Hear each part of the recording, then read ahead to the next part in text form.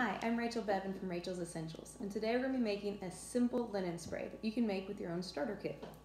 So first, what you're going to do is you need witch hazel. Now this stuff helps things to dry and it's an astringent, so it's going to help things get a little bit cleaner as well. You're just going to give it a squirt. You can do a lot or a little bit. Um, it's really just up to your preference. Then another um, also non-measurable amount, you're going to do a little pinch of Epsom salt. That just kind of helps to carry the oil scent a little bit further. Um, again, you can add as much or as little as you want, but keep it a small amount. And then we're only going to do about three to four drops of lavender.